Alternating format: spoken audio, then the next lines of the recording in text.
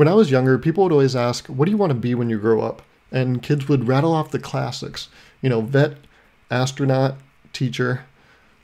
Those kids were usually just sucking up. But no one ever said programmer and that's probably because they just didn't hate themselves yet. There is a YouTube channel called Fireship that goes over topics that basically every programmer should know. And recently they posted a video titled 80% of programmers are not happy why? In the video, he goes over six reasons why programmers are not happy in today's world. Now, I'm more of a hardware engineer, but I do a lot of programming for my job and I work with a lot of programmers. So there were some additional reasons I thought of that were not included in Fireship's video that I think may explain why programmers are so unhappy today. But just to catch you up, let me tell you the six reasons Fireship mentioned. Reason number one, money. Yes, programmers make a lot, but they don't make as much as you think they do. Those day in the life videos in some big city are often embellished and misleading. Reason number two is technical debt. Technical debt is basically when programmers write code that is hideous, disgusting, abhorrent, but it works. And then they just keep writing code on top of that. It makes it very hard for anyone to understand how the code works.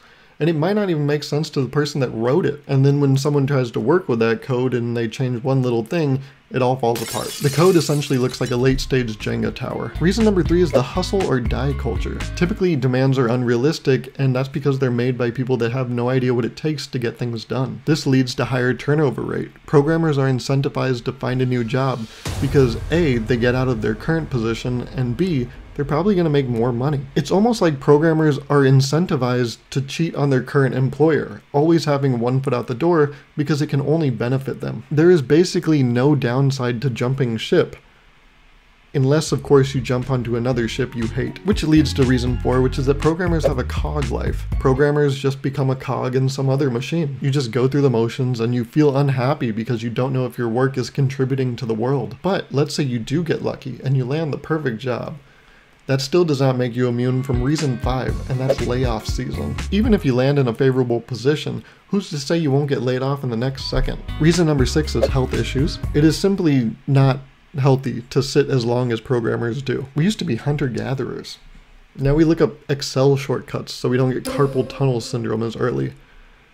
There's no avoiding it. It's just about delaying it at this point. So those are the six reasons Fireship says why programmers are not happy today. But let me offer you three additional reasons. Reason number one, a lack of recognition. I find that capable programmers and engineers, really any capable person in tech, experience a lack of recognition because they're just doing their job. There's an expectation from managers that doing your job successfully is the bare minimum so they start to take you for granted. Now, I'm not saying you should be praised for simply showing up, but if good work goes unrecognized for too long, the person doing the work will start to feel neglected.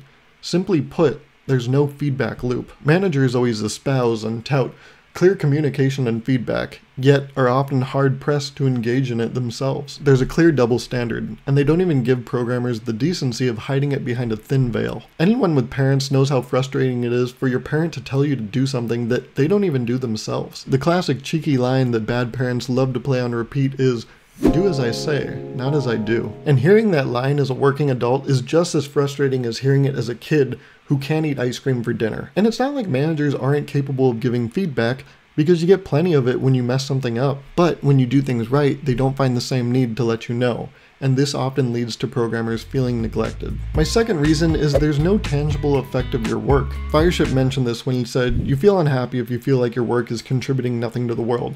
And I want to build on that point. You see people that should be miserable at their job because maybe it doesn't pay enough or the benefits aren't great, but they're still able to find satisfaction because they're able to see the effect of their work. There is something so human about being able to see the effect of something you did. Programmers don't have this luxury. In fact, it's kind of backwards in a way.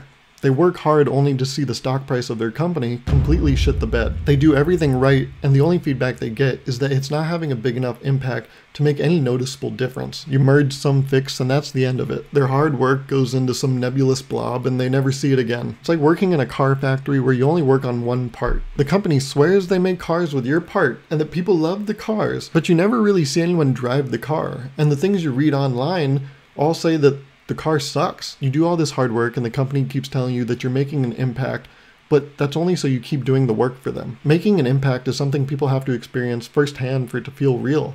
And at these tech companies, that is an opportunity that programmers rarely get to experience. And my last reason is that there are unclear motives behind decisions. Often companies make decisions that they have a hard time justifying, but you have to follow them because they make the rules. You know, they're the parent in charge. There are a lot of parallels between bad corporate leadership and bad parenting. Right now, in a post pandemic world, there are a lot of companies that are making the decision to force, sorry, uh, strongly encourage people back into the office. And when you ask the leaders of these companies why, they always say the same thing to increase collaboration and increase productivity. But do they know that this change will bring that desired effect? Do they have data that supports that? For companies that make decisions based on data, a lot of them are kind of willy nilly. This example specifically, they're basically just saying, I just feel like the vibe would be better if we were all on site, you know? Oftentimes, these decisions are just the company grasping at straws. It's basically just cope. Going back to the bad parents analogy, what happens when a bad parent makes a mistake? Do they admit it? No. They blame the kid and make them do something that has nothing to do with the original problem, so as to take the blame off themselves. Because as we know, when there's a conflict, only the guilty party faces punishment. So, whoever's being punished must be the guilty one. I'll wrap this video up just like a high school valedictorian and quote some old famous guy. In this case, it's Thomas Paine. In his book titled Common Sense, he says that time makes more converts than reason, which essentially means that people often do things not because they're reasonable, but because that's how they've always been done. But you can't brute force happiness the same way you can brute force code. If things stay the way they have always been, nothing will ever get better. But it's too scary for these companies to take big swings because what if it doesn't work out? You know, they say the devil you know is better than the devil you don't. And that's also why all these programmers feel like they're living in hell. Make sure you subscribe if you haven't already, and I will see you in the next one.